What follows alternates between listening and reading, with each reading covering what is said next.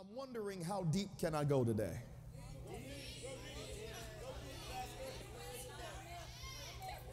Somebody said, do what you gotta do. Right. uh, we have been talking about transformative sacrifices for this month. And I thought it would be a wonderful uh, for us to continue uh, the conversation that we were having just a little bit on last week. If you guys put my PowerPoint up. And uh, I, I, want to make sure that we are, uh, for all intents and purposes, uh, that we are understanding the principles and the premises behind sacrifice. Everybody say sacrifice. Now, sacrifice becomes very important because it does afford us the opportunity to, to uh, take me to my slide that says closeness. Um, it does afford us the opportunity to be able to talk about something that oftentimes we don't talk about in the church. Uh, but, but as we're talking about it in the church, it does uh, calls for us to draw closer to God. Anytime when we're talking about sacrifice, we're not talking about just you giving something just for the sake of you giving something. We're talking about an entity, an act, a behavior that really draws you closer to God. It is our responsibility as a church, as a ministry, as a pastor to be able to draw you closer to God. If I can get you to God, I have done my job.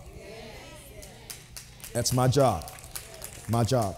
My job is not to bring you to man. My job is not to bring you to a program. My job is not to bring you even to a ministry. My job is to bring you to God and after you leave the presence of God, then you will have a ministry. Okay? The Bible says that Paul wrote that, that he has given to us this ministry of reconciliation. That ministry of reconciliation is not just to be reconciled with one another. That ministry of reconciliation starts with being reconciled with God. That I cannot be reconciled with you if I'm not properly reconciled with God. My relationship with God will determine how well I will be connected to you and with you.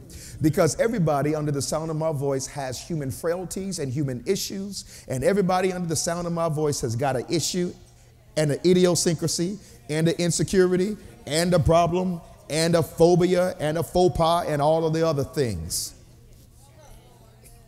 Right? All right. So, the only way that I can truly be reconciled with you long term is that I understand God and that I am drawn to God because I've got to get so close to God that God is the only thing that I see in you. How about that? All right. So now, if you ever find yourself in a place in which you are seeing the ugliness in people, more so than you are seeing the God in the moment and in the people, it means that you need to draw close to God. Right? Y'all still with me? All right, stay with me. It's going to be tight, but it's going to be right. And we're going I want you to introduce, if you don't know each other around, around your, your, your area, your little community, I want you to introduce yourself because we're going to dive into the word together today.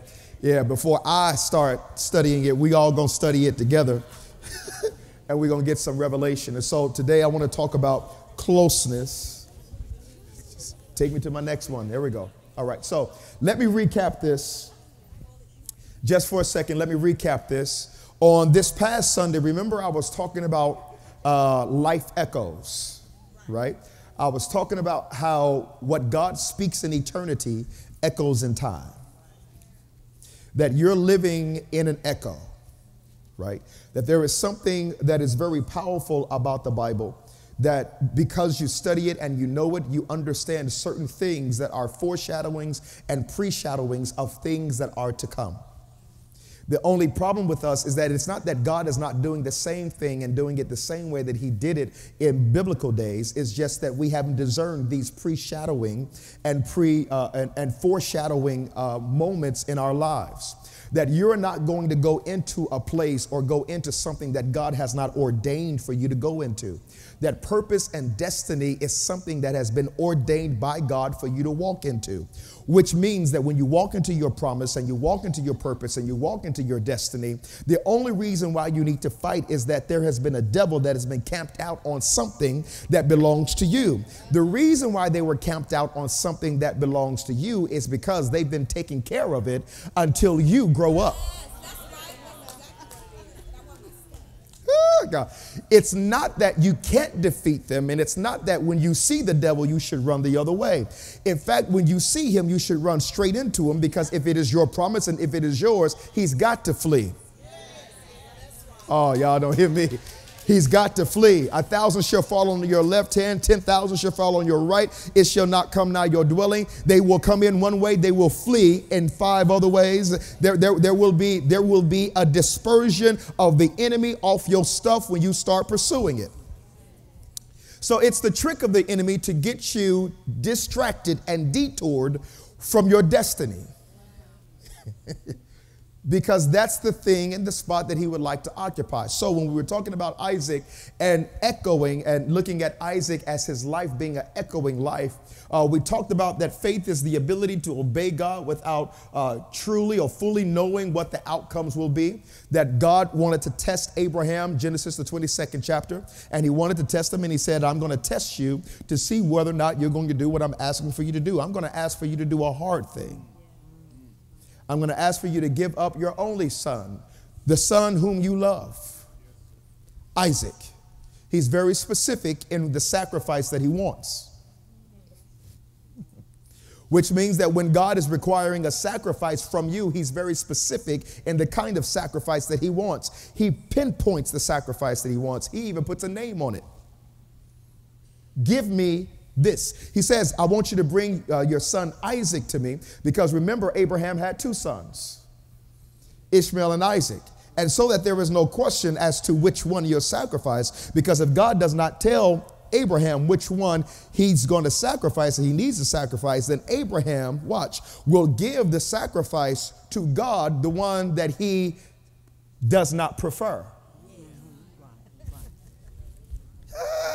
Uh, in other words, he will keep Isaac because that's his only one. That's the child that's born through a miracle. So you keep the miracle, but I'm going to give you the one that was born through a maid servant. Uh, and God says, No, I don't want you to give me what you want me to have.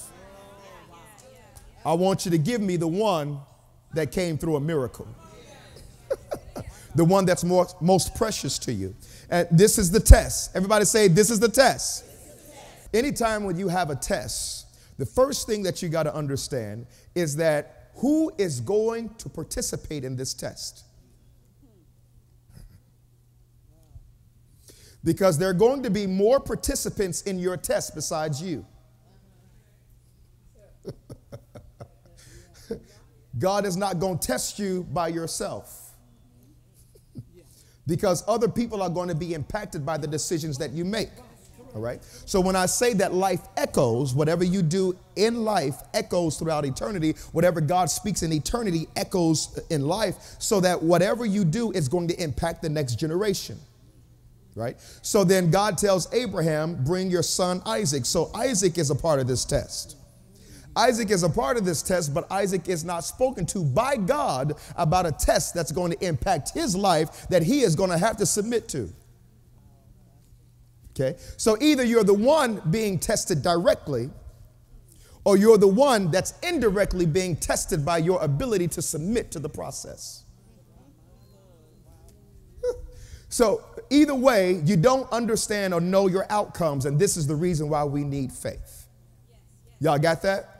All right, I'm, I'm gonna move on. So, your faith then uh, uh, to live is a lifestyle of sacrifice, echoes into other generations. All right, I'll show you how. Isaac was born to a woman miraculously, and so was Jesus. Echo, echo, echo. It happened before, it happens again. It is believed that Isaac was 33 years old at the time of him being sacrificed. If he is 33 years old at the time that he is being sacrificed, then it echoes in Jesus' life that he would be 33 when he is sacrificed. The only difference is Jesus went through with it. It's an echo, right? And and uh, uh, as it pertains to as it pertains to uh, these these these this death, Isaac's death on Mount Moriah, uh, was to serve as a prophetic sample for the messianic death. In other words, it was believed that Jesus actually was supposed to die in the temple. if the people would have accepted him as the king and their Messiah if they would have understood prophecy and understood what the, the, the, significance of this, he was, the thought was that he would then have died uh, uh, in the temple, but he died on the mount because Moriah was not just one mountain. Moriah was a mountain range. Oh, God. So even though Jesus didn't die on the same spot, he was in the same range. And the echo is always within range. Okay? So, so when God calls you to a spot, I want you to hear me. I didn't say this on Sunday, but this is just worth of your this is just worthy of your coming. When God calls you to a place and he says that there is something that he has for you, there is a range of spots, places, and opportunities in which that door may open. Oh, God. Look at somebody say, God is going to bless you with a range of ideas. Oh, somebody's going to get it in just a moment. A range of opportunities. How many of you have ever come into a season of your life in which opportunities just keep on coming from it? It's just not one, it's just a range of them. Right? That's the kind of God you serve. That's the kind of God we serve, all right? So so your willingness then to sacrifice your life is your initiation into your prophetic destiny. You will never get to your destiny without sacrificing your life. Jesus said it like this that in order for you to gain your life, to find your life, you must first lose it. If you cannot lose your life, you'll never be able to find the life destiny that God has in store for you. So, anytime when God asks for you to sacrifice your life, it is so that you can find the life that He has already preordained for you to have. When Isaac is asked, if y'all, if, how many how many Greeks fraternity uh, Fr- really? I don't know. Oh yeah, it's just fun. All right, so now, so now you heard of this thing called initiation. How many of y'all have, have, have ever uh, been a part of a gym? Right? You know, they, they have an initiation fee. How many of you have ever paid an initiation fee? What is the initiation fee for? Right that you will not become a part of this until it costs you something. Isaac has got to pay to be a part of the prophetic promise that God gave to Abraham. Through you, all the nations of the earth will be blessed. How's that going to happen? I, am going to I'm going to give you a seed. I'm going to give you a son. Okay, great. I'm going to give. You, I gave you the son I prophesied to you that you're going to have the son, but he is going to have to pay to be a part of this prophecy. Oh, God, who, Oh God, that means that you don't get to your prophetic destiny without giving your life. And so Isaac has to give his life to it. Every every other generation after that will have hands laid on them. Isaac never gets his hands laid on him because this is the laying on of a hand. This is when he gave his life for it. It was his initiation. All right. So now, if you're going to, listen, if you're going to operate in your prophetic destiny, you're going to have to lay your life down. okay, I know I'm messing with your flesh. I'm going to keep on messing with it. All right, so now Abraham had passed the, the greatest test of faith that a person can face at this place, and God made it holy ground. Isaac was to die on an altar at the very same place where Jesus would die on the altar. Watch. So, your prophetic destiny then means that others will benefit from your sacrifice.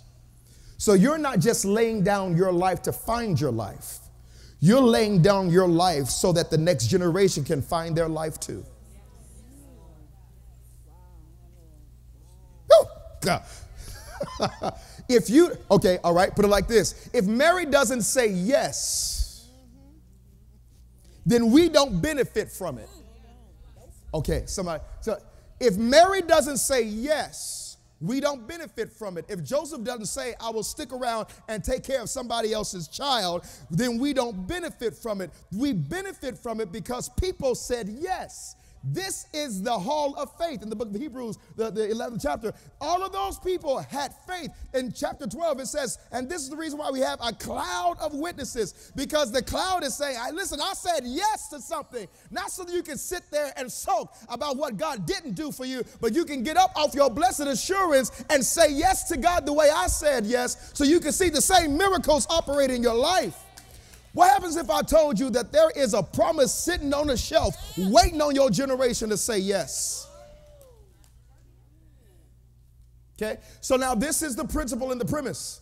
I'll, I'll, deal, I'll deal with this text on, on Sunday, hint, hint, 2 Samuel 24, where David, where David actually purchases the threshing floor that happened to be in the same range.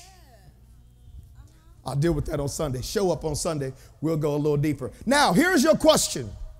And everybody's going to be a part of this, and I'm going to give you six minutes to deal with this. One minute to read it, another minute for you to kind of dissect what you just read, and then the next four minutes for you to discuss it. Here it is. So, what can separate us from the love of God? Because remember, I told you that the reason why we have sacrifice is so that we can draw close. If we're not able to draw close, that means that something is separating us from God. What can separate us from the love of God? Right? Second question is, what can separate God from our love? The first question is about God's love towards us. Is there anything that can stop God from loving us? The second question is our love towards God. Is there anything that can stop us from loving God?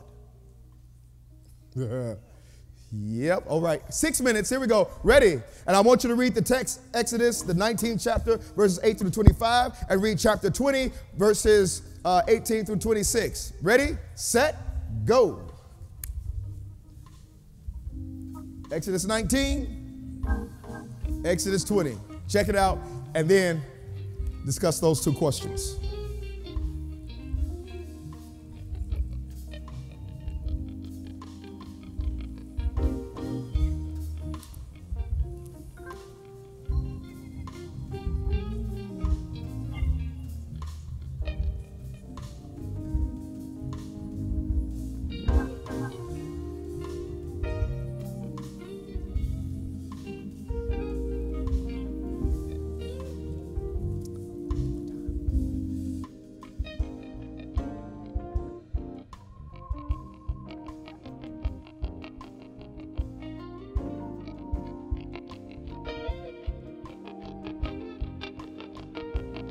Bye.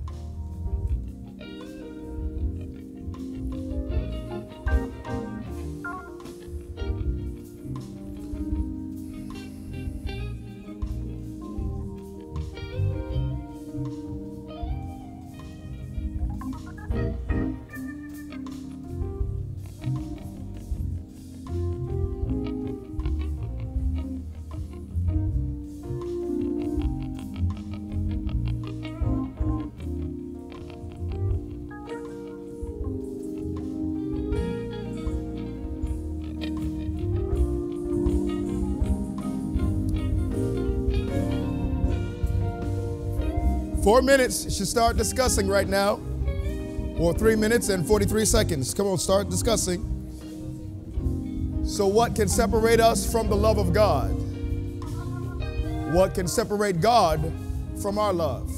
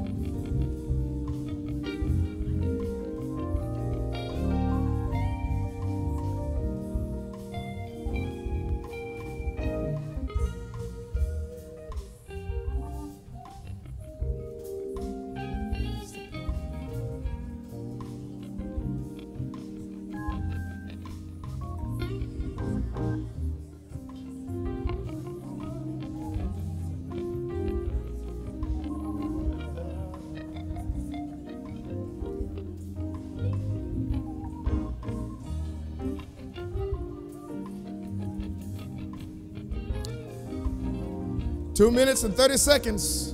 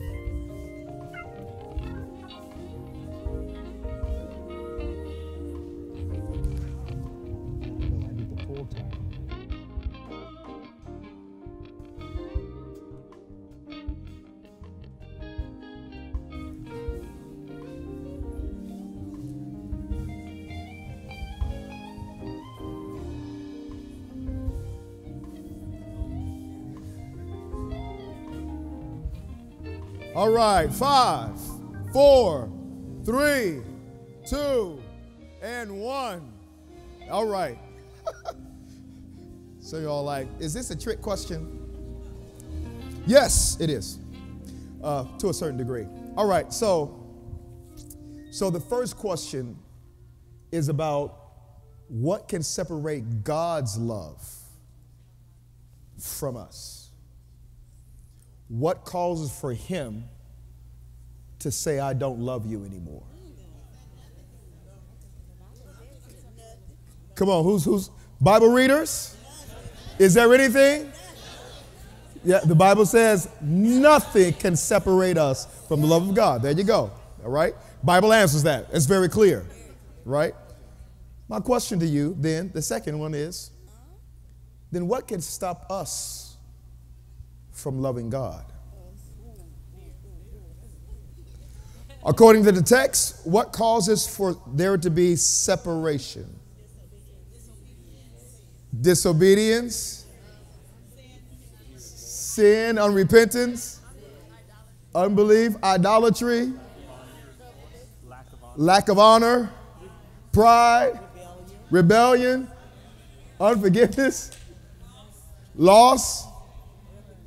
Three, lust of the flesh, lust of the eye, and the pride of life. Yep, yep. All right. I, okay, so now, so now let's all dive into it. I'm gonna read it with you this time and see if I can bring out some more stuff. All right, look, look at Exodus, the 19th chapter.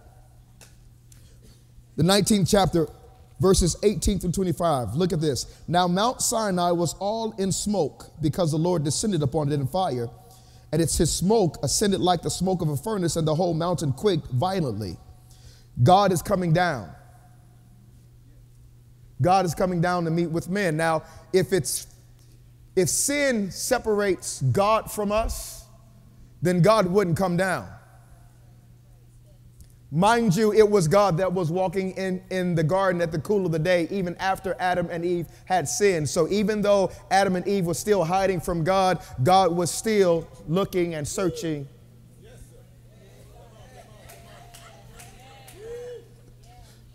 All right. Verse 19. When the sound of the trumpet grew louder and louder, Moses spoke, and God answered him with a thunder. The Lord came down on Mount Sinai to the top of the mountain, and the Lord called Moses to the top of the mountain, and Moses went up. He says, I'm going to come down only so far. Oh, God, get this. I'm going to only come down so far. I'm going to call you up too. So I'm going to come down only so far. I'm going to call you up. Mm, I'm not going to call you as high as I am. I'm going to call you as high as you can get. I will come down and make up the difference. All right, I want you to see this. I want you to see this there. 20. Then the Lord came down on Mount Sinai to the top, and Mount, uh, Moses went up. Then the Lord spoke to Moses Go down, warn the people, so that they do not break through to the Lord to gaze, and many of them perish. He says, Go down. Now that you've been in my presence, now I want you to go down. And I want you to talk to the people, make sure that they don't gaze and look intently into me. Why? Because if they look intently into me, they're going to die. Okay, verse 22. And also let the priests who come near to the Lord consecrate themselves, or else the Lord will break out against them. In other words, just because you are working for me as a priest, it don't mean that you are sinless too.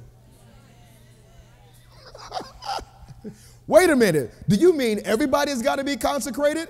Yes. Both the people and the priests have got to be consecrated. See, in church, we just taught you that only the priests needed to be consecrated. Only preachers needed to be consecrated. No, not just preachers, but everybody else who says that they are, are Christians need to be consecrated too. Okay, 23. Moses said to the Lord, The people cannot come up to Mount Sinai, for you warned us, saying, Set bounds about the mountain and consecrate it. Then the Lord said to him, Go down and come up again, and you and Aaron with you, but do not let the priests and the people break through to come up to the Lord, or he will break forth upon them. So Moses went down to the people and told them, Now watch this.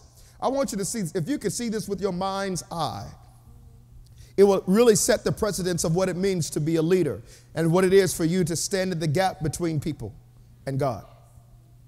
Look at the work that Moses has got to do. He's got to go up, speak to God. God says, now go down and tell, talk to the people. He's got to go back down and talk to the people, and then he's got to come back up and speak to God. And then he's got to go back down and talk to. We're not talking about a walk around the corner. We're talking about up a mountain. Up a mountain. We're talking about, we're talking about more, at, at least, at least five miles up. Come on, come on. Watch. Watch. I was about to get there, but you, you maybe go down. I'll, I'll go there now then. Watch. And God didn't say, you know what? This is too much for you because you're too old.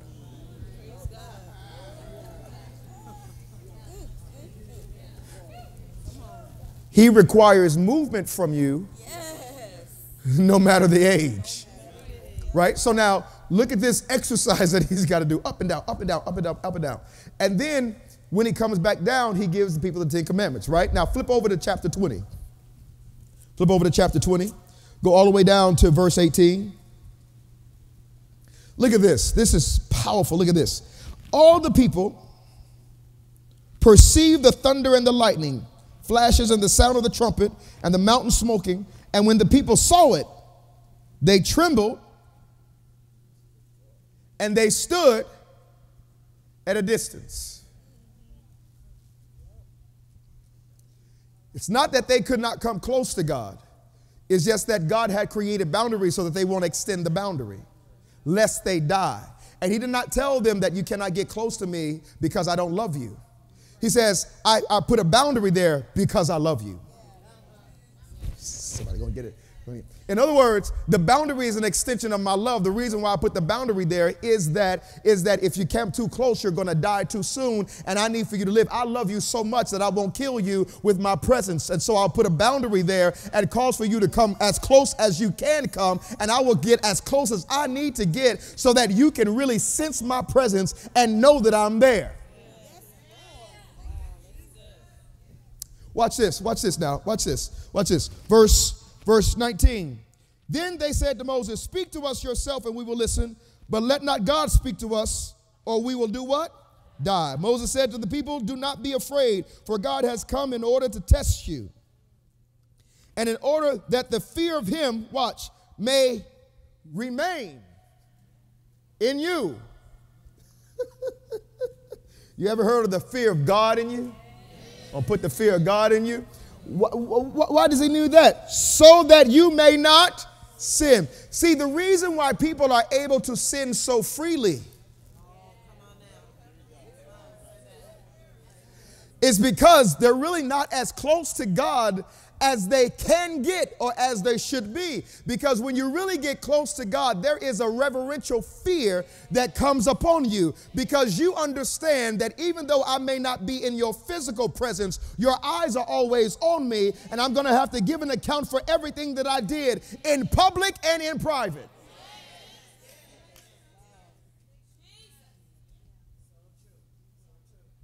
I want you to think about it from this vantage, from this perspective, that the people did not draw close and did not want to draw close because they were afraid. 21. So the people stood at a distance while Moses approached the thick cloud where God was. Then the Lord said to Moses, Thus you shall say to the sons of Israel, You yourselves have seen that I have spoken to you from heaven. You shall not make other gods besides me, gods of silver or gods of gold. You shall not make for yourselves. Watch, verse 24. You shall make an altar of earth for me, and you shall do what? Sacrifice on it your burnt offerings and your peace offerings, your sheep and your oxen in every place where I cause my name to be remembered. I will come to you and bless you. Now, watch this. He says that everywhere I cause my name to be remembered. Make an altar and make a sacrifice. Everywhere that I cause for my name to re- be remembered, make an altar, make a sacrifice. Uh, so now, here it is God has a way of taking you to certain experiences the reason why he takes you through certain experiences is so, it's not so much that you did anything. It is because what he is trying to reveal to you about him. Oh, so you will never know him as a provider if he does not create some kind of lack. Are you hearing me today? So now, so now he creates scenarios so his name can be remembered. Oh, God. Oh, God. He says, and when I flex my muscle, when I show you who I am, stop giving praise and glory to everything else.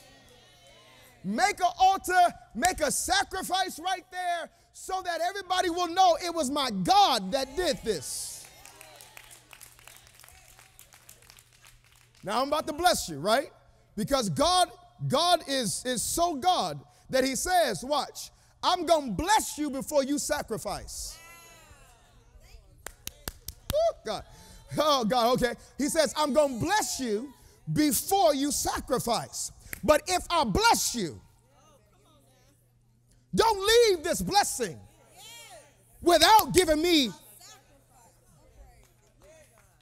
Oh, God. See, see, so, see, see, what we do is we like to trap God. Like, like, God, you should do this for me. And then we walk away and we give him no sacrifice. Nothing.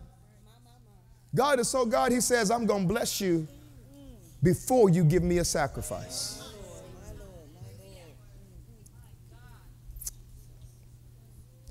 My question to you is Has God shown himself today? Do you remember? Oh, all right, all right, all right. Do you remember where God flexed his muscle today? Have you given him a sacrifice yet? Oh, God. Uh, uh, some of y'all just drove here. You didn't say thank you at all. Some of y'all ate today, didn't even say thank you for the food I'm about to receive. Some of you got up with the health in your body, didn't say thank you at all you even came into the house of the Lord. And when it was time to say thank you, you didn't even say thank you. I'm telling you something that is going to bless your soul right now to bring you into remembrance of who He is. And you still won't say thank you. Which is the reason why God says, I'm going to shrivel up my hand and stop blessing you because every time I did bless you, you didn't even say thank you. Let's try it. I'm going to give you 20 seconds. Can you give glory and praise? Can you open up your mouth and just tell him thank you? Come on, come on, come on, come on. It's a sacrifice of praise. Come on, it's a sacrifice of praise. It's a sacrifice. Thank you, Lord. Thank you, Lord. Hallelujah. Come on, 10 more seconds. Come on, hallelujah. Thank you, Jesus. Thank you, Jesus. Thank you, Jesus. Thank you, Father. Thank you, Father. Ah! Come on, even the children are raising their hands. Come on, you better lift your hands. Hallelujah. Woo! Amen. You can have your seats. Now, watch, watch, watch. I got 15 minutes. I need to land this. Okay, watch. Verse 25.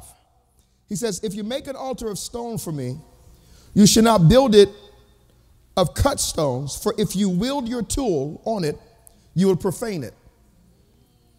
You should go up by the steps to my altar so that your nakedness will not be exposed on it. Let me talk about those two principles here. Very powerful principles. He said that when you are making the altar, don't put an implement to try and cut it. Because if you try to cut it, you will use your imagination. And I can't trust your imagination because you got too many idols in your imagination. And you'll try to cut it in the image that is in your. He said, don't, so don't touch it. Leave it naturally, like it is. and then he said that if you do go up, make sure that you don't go up in front of the people. Because he's not saying so that your nakedness won't be exposed to God. Your nakedness is always exposed to God.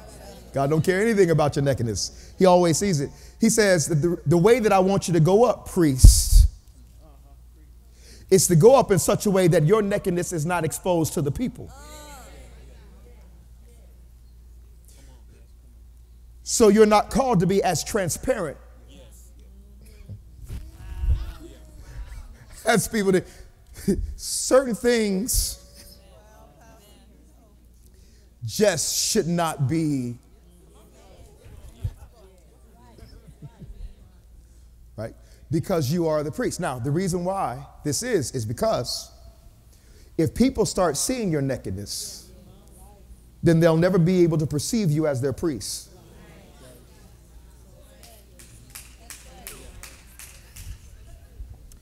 So, so God says, I need to protect the office that you hold by covering you. I'm not denying that you got issues. I'm just covering your issues. Because even the people can see you that you're sacrificing for yourself too, which means that you got to sin too. oh, God. I'm just making sure that the people can still perceive you as one that can represent me to you. So, so, so here's the principle. Then, can anything separate us from the love of God? Answer is no. But then, what can separate God from our love? And that's what I, I want to I want to kind of help us out. Here are principles the principle of separation. God's desire is always to be near us or close to us. That's his desire. Just to be close to you is my desire. Man sings that, but that's God's song. Just to be close to you. Oh, oh I, I, can't, I can't, I can't. Ooh. Sorry. It'll take me somewhere else. I won't finish. Right? So fear then disguises itself as an excusable feeling that separates itself from God. The reason why the people did not want to get close to God is because they were afraid. Remember what Adam said. Who God said, "Who told you you were naked?" He said, "He said, I was afraid, therefore I hid." The reason why people don't get close to God is because they are afraid. You are afraid that you're going to have to let go of the thing that God is trying to kill. The very thing that he wants you to sacrifice is the reason why you don't want to get close to him. Because we all know deep down inside in our hearts that this very thing is keeping us from getting as close to God as we need to get. Come on, y'all still with me? All right, so now, so now watch this. So, so man's goat Man's goal is to strive to come as close to God as one possibly can. And so the idea of offerings, teachings, uh, teaches us to take the physical, the body, and sanctify it. The body, sanctify it. This is what James says, 4 and 8. Come near to God, and he will Remember I showed you God came down, Moses came up. God came down, Moses, right? So so wash your hands, you sinners, and purify your what? You what? In other words, the reason why we can't get close to God is because we got two lovers. We love God, but we love our stuff. We love God, we love, and, and, and, and we don't want the two to meet until the one is about to destroy us. Then we want God to come in. See, y'all laughing because y'all know it's true, right? Right? And, and this is a powerful principle. So the separation occurs because of our flesh. Is there anything that can cause for us to stop loving God? Yes, our flesh. Let me show you how. Let me show you how. So now, the flesh factor of a sacrifice in Galatians 5 and 24, it says, Those who belong to Christ Jesus have crucified the flesh with its passions and its what? All right, so now there are two things that's going to keep you from loving God your passion and your desire that comes from your flesh. Let me say it again your passion and your desire that comes from your flesh. In fact, let me prophetically tell you right now that when the Bible talks about the great apostasy, which is the great falling away, that in the last days, last and evil days, there's going to be a falling away from God. It is going to become because of people's passions and desires that they didn't crucify that was a part of their flesh. Okay, all right. So now, so now, to, to, to, crucify then is literally, literally used of, of the Romans crucifying Christ on a wooden cross. But the, but the idea, figuratively, of pulling the old self to death, putting the old self to death by submitting all decisions. Somebody say all decisions to the Lord, which means it's a passion of yours my question is Is it a passion of God's? you want to do it. Question is Does God want you to do it? Now, we know what you don't want God to touch by what you don't pray for. I need a real church up in here. Don't you look at me. Y'all know, you know, you know the very thing that you don't want God to touch is the very thing that you want your flesh to run around happy in. But if you ever, you know in your spirit, if you ever ask God, is this your will? You know the answer is going to come back to you, no, which already tells you it's not his will. All right, let me ask you have you ever had anybody to ask you a question about something that they already know the answer to. Why are they asking you? Because they want affirmation. and then when you don't give it to them, they get angry with you because they never wanted you to disagree with them. Oh, God, I want you to hear this statement. I can't be in relationship with a God who will always agree with me. God. I need to be in relationship with a God that will say, I disagree with what it is that you're doing. What you're doing is, I need to be checked in my flesh because there is no good thing in my flesh. My flesh has passions and desires that will totally take me out of the presence of God. And I need to kill everything that will hinder me from getting close to my God. Y'all still with me? All right, so now let's go just a little deeper. Here, here are the passions. So the passions is the capacity to, to, to foot strong emotion or to feel strong emotion like suffering. Properly, the capacity and the privilege of experiencing strong feeling, deep emotion, agony, passion, urgent desire, suffering. That's a passion. Here's your desire uh, uh, a passionate desire, properly passion, but on strong feelings. In other words, when you make decisions based off of strong feelings versus strong wisdom, you are in your flesh. Okay, we can't. Uh, uh, uh, when when you want to retaliate, oh God, when you want to retaliate and somebody has did something to you or said something about you that you know it's like oh my god how could they? And then your flesh gets hurt by it. And the first thing that you want to do is retaliate. That's when god is saying that's when i want to crucify your flesh. In fact the reason why I allowed it to happen is to let you know what's not dead yet. Oh, God, who did I just talk to in here today? You know what's not dead yet by the situations that God allows to come into your life. He's trying to expose your flesh.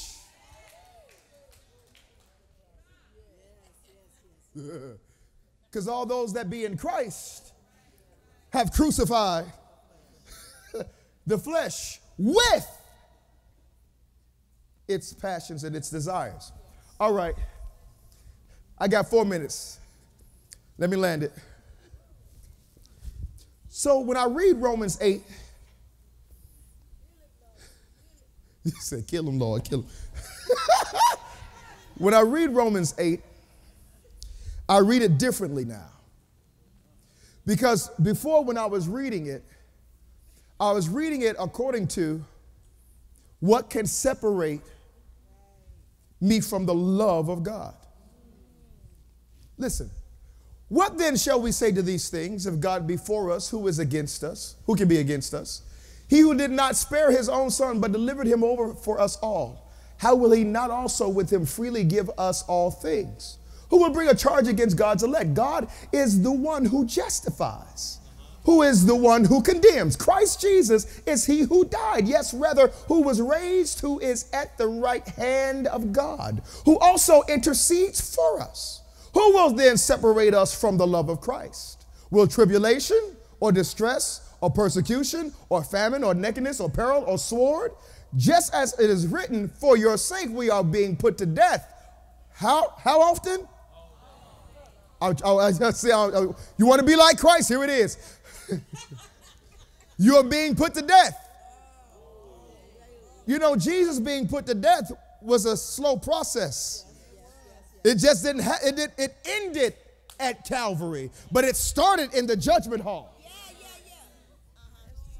Uh-huh. All day, he was being put to death. Oh, God. Now, watch this, watch this. For, for your sake, we are being put to death all day long. We were considered as sheep to be slaughtered. But in all these things, we overwhelmingly conquer through him who loved us. For I am convinced that neither death, nor life, nor angels, nor principalities, nor things present, nor things to come, nor powers, nor height, nor depth, nor any other created thing will be able to separate us from the love of God, which is in Christ Jesus our Lord. In, in other words, God says, I love you so much, I gave you my son.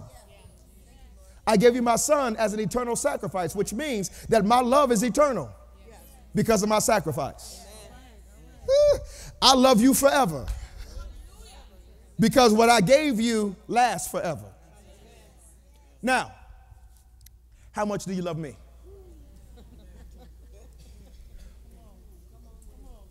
What are you willing? To sacrifice? I gave you my only son. What are you willing to give me? In fact, what, what happens if I told you what I wanted? Instead of you giving me your Ishmael, I want to know can I have your Isaac?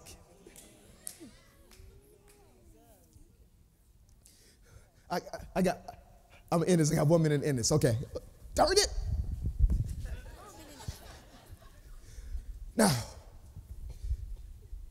that stuff that I underlined tribulation, distress, persecution, famine, nakedness, peril, sword it will not separate God's love from us. But I've dealt with people enough to know that it will stop people from loving God.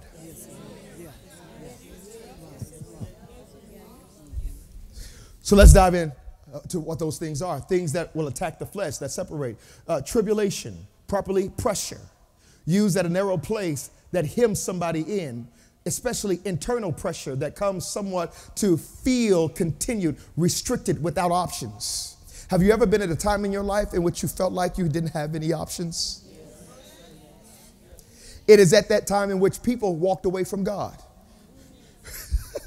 God, you gave me so much pressure that I felt like I didn't have any options, so I walked away from you. Uh, you didn't give me a vote in this thing, and because you didn't give me a vote, I, I, I don't, I don't want to be around you. And it is the pressure and the tribulation of life that has caused for people to walk away from God.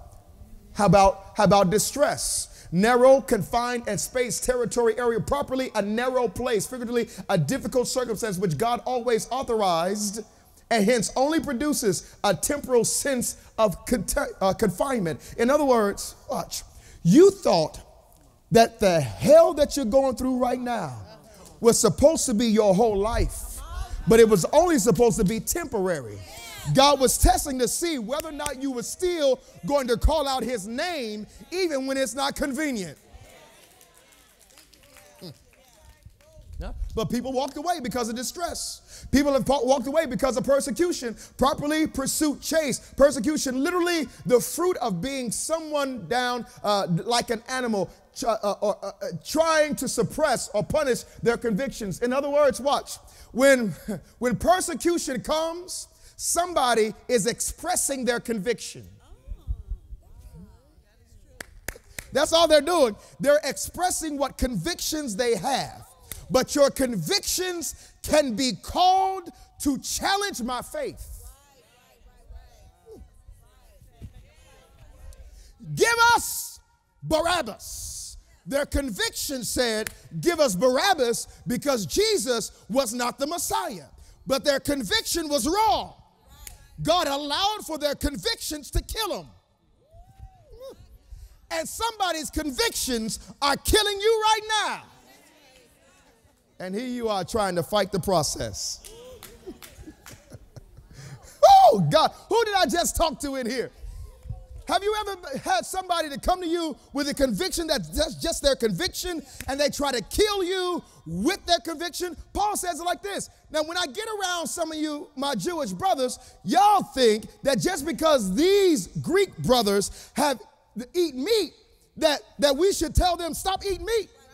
Paul said it like this. He says, I'm not going to stop eating meat just because you don't want me to. That's your conviction.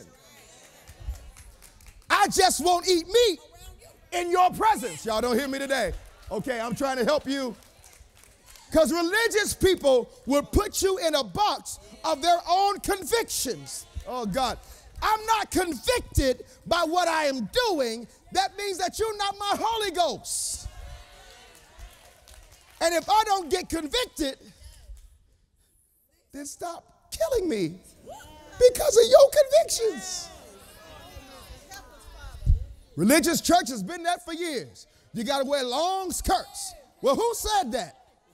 Tell me in the Bible what that is an issue.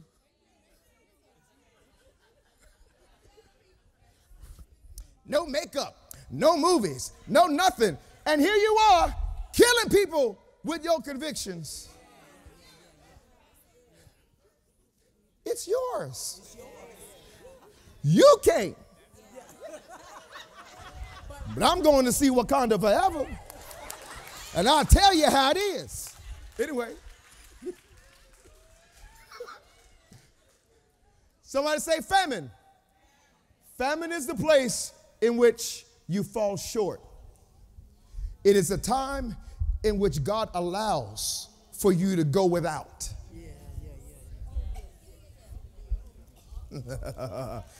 oh, God. Oh, God. Oh, God. Who did I just talk to? Everybody under the sound of my voice will have a moment in which God will allow for you to go without just to see how you're going to respond. Now, some people, because they've gone without, will steal, lie, and kill just to get something. Some of us choose to say, This is where my faith is challenged, and the Lord will provide. I don't know how He's going to do it, I don't know when He's going to do it, but I just know that the Lord will provide. Y'all don't hear me today. I know I don't have no groceries in the refrigerator, but it doesn't mean that there are no groceries in the atmosphere.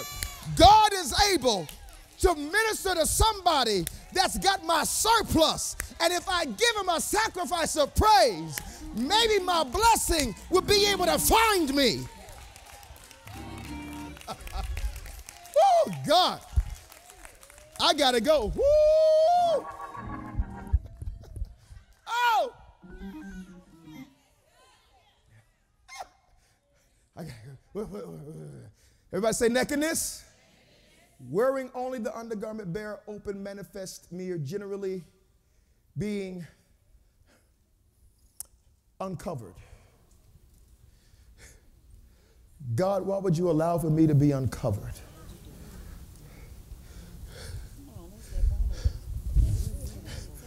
What? Oh, I'll give you one. Here's, here's one coming. Jesus did not die on the cross with all his clothes on. Right, right, that's right, that's right. In fact, his clothes, the soldiers were gambling for. All he had was his body, bottoms and nakedness uncovered. Sometimes God allows for his people to be uncovered just so that the devil will know that just because they're uncovered, it, did, it doesn't mean that they're not protected. Okay. All right, let me give you another example. The Bible says the first time that Abraham made a sacrifice, he had to cut uh, turtle doves, and, and the Bible says that he cut them open where the bodies were split and there was blood in between, and God came down, and, and, and he had to he had to wait on God to come down. But but but while the dead bodies were there, buzzards were in the air trying to steal the sacrifice, and he had to beat away the sacrifice. Y'all don't hear me today, because just because the sacrifice was was was uncovered, it doesn't mean that it wasn't protected. And there's something about your sacrifice that God is saying, I'm beating beating away every devil that is trying to kill you because you put your life on the altar for me. Hey, God, who did I just talk to? He says, I'm beating away every demonic spirit that's been trying to kill you because you sacrificed your life. If you just lay it down, he says, I got you covered.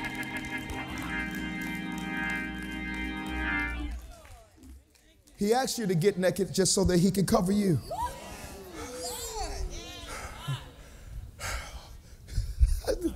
I got to stop. That's all the time we have for today. Is it 821? Is that the time? Yes. Okay, good. Risk. I want you to hear me. I want, I want, I want you guys to hear your pastor. Hear me. Every sacrifice that God will require for you to make is going to be a risk.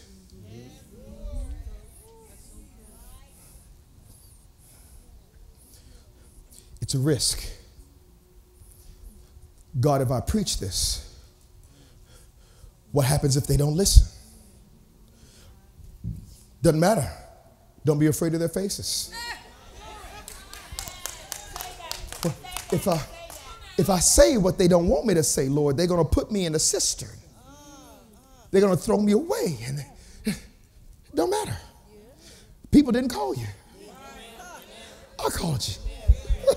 If I tell them the truth, they may not want to be my friend after I tell them the truth. It doesn't matter because I'm your friend. And if they can't be your friend after truth, then they were really your friend after a lie. And you don't want no relationship that's built on a lie anyway. I'm trying to expose who and what is supposed to be in your life. So live in truth. It's a risk, Lord. It's a risk. They're not going to like me. But you're going to have to get over your flesh wanting to be liked by everybody. Okay, all right. All right, all right. See, see, this is for, for another generation. This is the hard. This is the hard part about another generation because because if you're if you if you're on social media, you live by likes and follows. But what happens if you don't get all the likes? and what happens if nobody follows it? Because just because they're following you or liking you, it doesn't mean that you're living in truth. Some people like a lie more than they like the truth. Some people will follow a lie more than they'll follow truth. It's a risk. Everybody say, I got to be willing to take a risk. Every time God required me, required of me to give something, either my, my time or, or an offering, it was a risk. In the back of my head, I was always saying, now, now, now what if this don't work? But I can't control the outcomes. And that's the reason why I need faith. Last one. So somebody say sword. Sword. Properly a slaughter knife, a short sword or a dagger, mainly used for stabbing, an instrument for exacting retribution. What happened if I told you that Jesus went through all of it on Calvary? What happened if I told you? What happened if I told you that he went through tribulation because he was whipped on his back.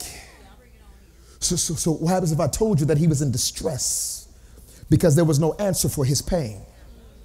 What happened if I told you that he went through persecution, beard pulled from his face, people hurling insults at him? What happens if I told you that he went through lack? I thirst. What happened if I told you that he went through he went through nakedness, that he was on the cross with somebody else gambling for his clothes? What happened if I told you that he went through peril? He took a risk. Father, into your hands I commend my spirit. What happened if I told you that he went through sword to see whether or not he was dead? They pierced him in the side. What happened if I told you that Jesus went through all of it for you? Just to get close to you. And you won't go through one of it for him.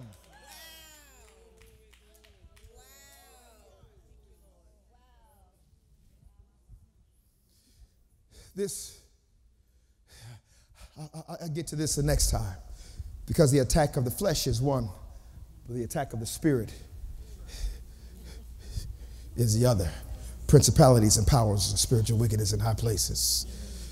That's an attack too. I'll deal with that the next one. I, I want to tell you though that the whole idea behind the sacrifice is to get close to God. And I can't get close to Him if I'm not willing to sacrifice something. Yes, sir. Yes, sir. Mm. If I want Him to be able to speak to me, am I willing to sacrifice my time? Am I willing to turn off the TV and flip over my phone and turn it off so I won't even hear the ding, ding?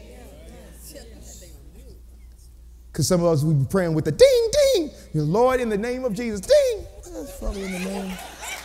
Yes, Lord. Yes, Lord. Even now, God. Yes. Oh, yes. Yes, Lord, Father. Yes. Oh, my God. Oh, yes. Oh, Lord. Ooh. Oh, Lord, yes, yes.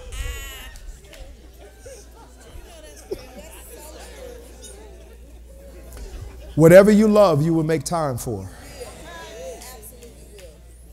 I am trying to get us close to God. And that should not start at the church. it should start in your own tent, your own home, your own place of abode. When we have family prayer, everything has got to stop. Even the dog stops.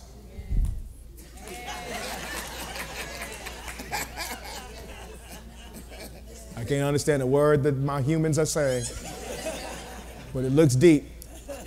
I better stop. Everything has got to stop. I, will stop. I'll stop here and I'll, I'll, give you this story. Oh, I was I was away at school.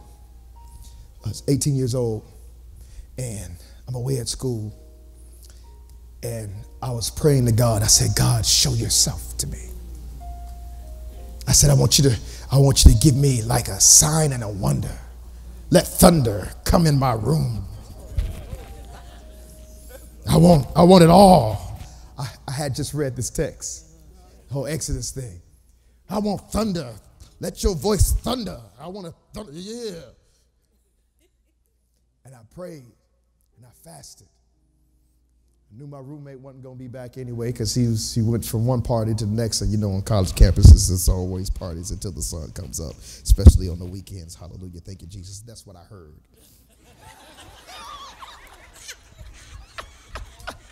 Woo! Wasn't always like I'm sacrificing. I'll turn up the Bible. Oh, Pat, let's kick it. Okay, Lord, I'll come back to you in just a moment. Get up.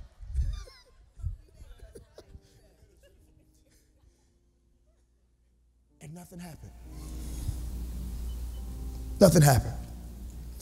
And I said, Lord, what?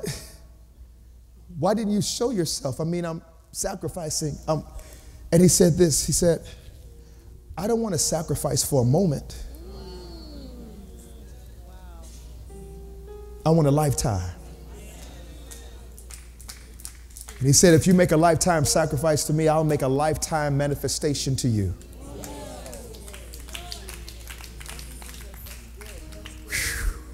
I'll show myself.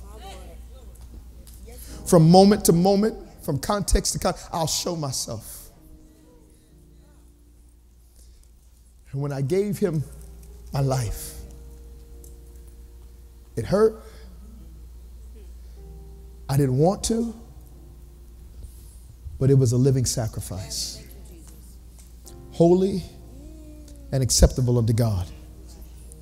It is my reasonable act of worship that I give him me. Take my will.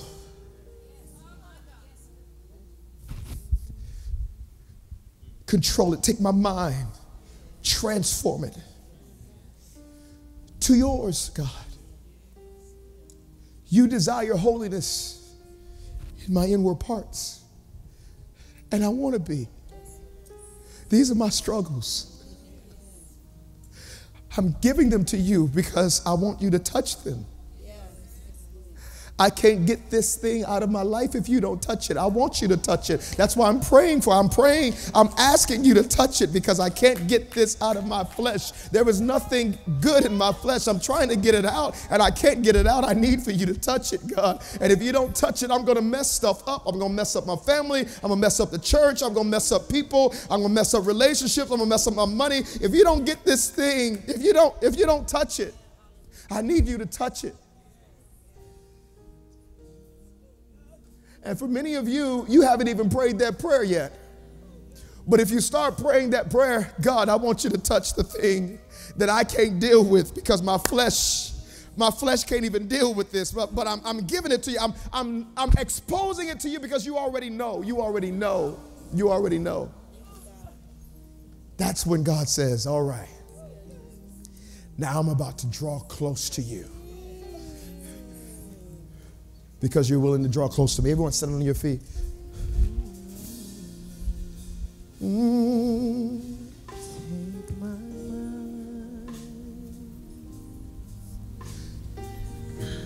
Just for a minute. Come on. Come on, take, just take a few moments. We're about to get out just right now. Just slip your hands up before the Father. Ask the Lord to come into the areas and the places and spaces of your life that I know it's going to be a risk that you give it to him, but come on, come on, just open up your mouth and just say, Lord, I want you to touch this area, whatever that is. Come on, open up your mouth all over the place. That's right. Come on, come on, come on, come on, come on, come on. You may be watching and streaming on live. Come on, there's a place in an area of your life that God needs to touch. Come on, allow for him to touch it. Allow for him to touch it. Come on, come on, come on, come on, come on. Oh God, oh God, it's our responsibility to bring you closer to God. It's our responsibility to bring you close to your Savior, to bring you close to your Lord. Oh God, we just honor you, Father. There are areas of our lives in which we need for you to touch. Touch our relationships, oh God. Make them holy, oh God. Touch our thoughts and our mindsets, oh God. Make them holy, oh God. Touch our, our behavior, Father, and the things that we even touch, oh God. Make them holy, oh God. Calls for our decisions to be holy, oh God. We lift them up to you. Holiness, holiness, holiness is what I long for. Holiness is what I need.